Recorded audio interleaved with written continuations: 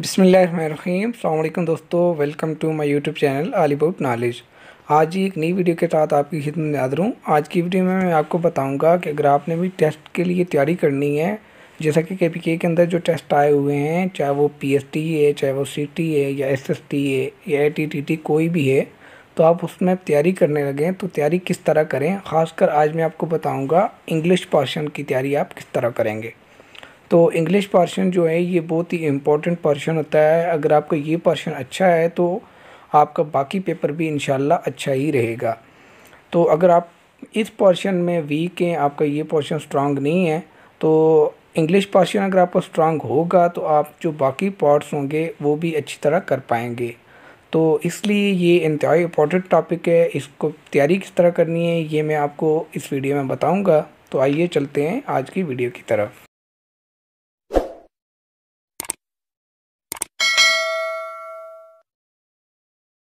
अच्छा तो बहुत सारे जो दोस्त होते हैं, ये वो ये सोचते हैं कि हमने इंग्लिश पोर्शन की स्टडी करनी है, ये इंग्लिश पोर्शन को हमने तैयार करना है।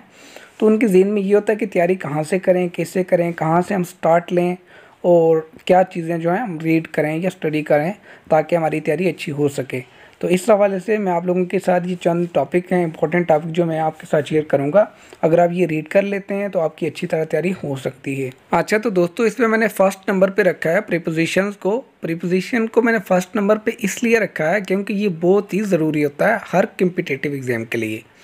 ये नहीं कि आपकी जो P S T C T S S T के पेपर्स हैं, इसके हवाले से ओवरऑल जितने भी टेस्ट होते हैं, इनमें ये प्रीपोजिशन होते हैं, ये बहुत इंपॉर्टेंट होते हैं, इसलिए मैंने इसको फ़र्स्ट नंबर पे रखा है। तो प्रीपोजिशन को आपने अच्छी तरह तैयार कर लेना है ठीक है?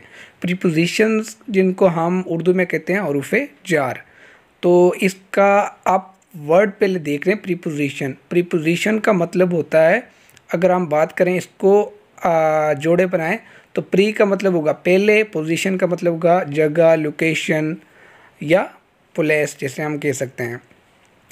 तो ये वर्ड जो है प्रीपोजिशन ये खुद ही मतलब वाजे कर रहा है, अगर आप फोकस करें इस पर तो प्रीपोजिशन को आपने अच्छी तरह तैयार कर लें। अगर हम प्रीपोजिशन की बात करें प्रीपोजिशन वो वर्ड होता है जो नाउन और प्रोनाउन का other part of the sentence के साथ रिलेशन शो करता है। फॉर एग्ज़ाम्पल हम कहते हैं the book is on the table कि किताब जो है वो मेज़ पर है। तो मेज़, दो चीज़ें यहाँ पे, एक है मेज़ और एक है किताब। तो किताब और मेज़ का जो रिलेशन हमें बताया, जो रिश्ता तल्लक जो हमने बताया, वो बताया प्रीपोजिशन ने। प्रीपोजिशन इसमें क्या है? पर। तो किताब जो है, वो मेज़ पर है तो रिलेशन हमें बताया प्रीपोजिशन पर ने। तो book is on the table on preposition use हुआ इसमें। ठीक है? तो इसी तरह ये वीडियो ज़्यादा लंबी हो जाएगी, मैं आपको ज़्यादा डिटेल नहीं कर सकता तो इसके लिए मैं डिफरेंट एक, आपके लिए लहदे लहदे जो है वीडियो बनाकर आपके साथ शेयर करूँगा। तो इसकी आपने प्रिपोजिशन को अच्छी तरह तैयार कर लेना है, जिसमें इसकी मुख्तलिफ़ डिफरेंट जो टाइप्स हैं, उसको भी आपने देख लेना है। जिससे सिंपल प्रिपोजिशन होता है डबल होता है कंपाउंड होता है। इसके अलावा जो डिफरेंट जो इसकी टाइप्स हैं आपने, वो भी देखनी है। अच्छी तरह इसको तैयार करना है। इसके बाद अगली चीज़ जो आती है, वो हमारे पास पार्ट्स ऑफ़ द स्पीच तो आपने पार्ट्स ऑफ़ द स्पीच पे भी फोकस करना है, इनको अच्छी तरह तैयार करना है। क्योंकि ये भी एक बेसिक चीज़ है अगर आपने ये सीखनी, सीखेंगे तो तभी आप आगे भी सीख पाएँगे। तो आप लोगों को पता ही है कि पार्ट्स ऑफ़ स्पीच कहते हैं अज्ज़ाए कलाम को, जो कि बोलने के लिए हम इस्तेमाल करते हैं इंग्लिश में। तो उसमें नंबर वन पे नाउन प्रोनाउन है वर्ब है एडजेक्टिव है आर्टिकल है, इसके अलावा एडवर्ब है प्रीपोजिशन है कंजक्शन हैं, और इसके अलावा जो है एंटर जंक्शन हम कह सकते हैं लिंकिंग वर्ड्स हैं। तो ये भी आपने अच्छी तरह तैयार कर लेने हैं। इसके बाद तीसरे नंबर पे जो चीज़ मैंने रखी हुई है वो है एंटनम्स और सिनानम्स। तो सिनानम्स और एंटनम भी बहुत ही ज़रूरी हैं क्योंकि जितने भी आ, ये पहले टेस्ट आए एन की तरफ़ से तो तीन चार क्वेश्चन सिनानम और एंटनम्स के लाजमी होते हैं। तो एंटनम और सिनानम जिसे हम कहते हैं अल्फाज मुतरदफ़ और अल्फाज मुतजाद उर्दू में जिसको हम कहते हैं। तो ये भी आपने अच्छी तरह तैयार कर लेने तो इसके लिए मैं आपको बता दूँ कि आप तैयारी किस तरह करें।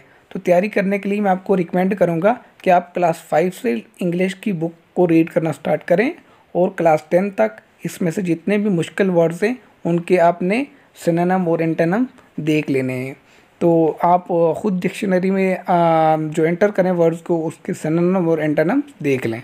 अगर आप लोगों को ये काम मुश्किल लगता है कि अगर आप कहते हैं कि यार इतनी बुक कौन रीड करे तो मैं आपको रिकमेंड करूँगा कि शॉर्ट से टाइम में आप कर सकते हैं। आप एक्सरसाइज के एंटरनम और सेनम तकरीबन इनको बिल्कुल ना छोड़ें, इनको आप लाजमी रीड करें और इनको याद भी रख लें। ठीक है?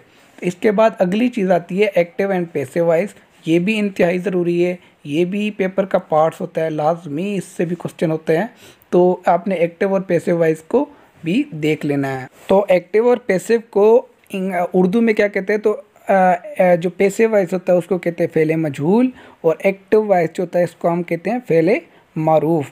तो इसके बनाने का एक तरीका है, जिसमें जो है रूल्स हैं तो उनको फॉलो करते हुए इसको एक्टिव और पैसिव में चेंज किया जाता है। For example Arif boils and egg कि आरफ जो है, एक अंडा उबालता है।